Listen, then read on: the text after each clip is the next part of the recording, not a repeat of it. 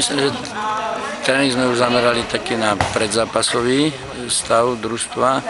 To znamená, že okrem takého protiútoku, cvičenia pre obranu sme sa zamerali na cvičenia v útoku a hru obrany.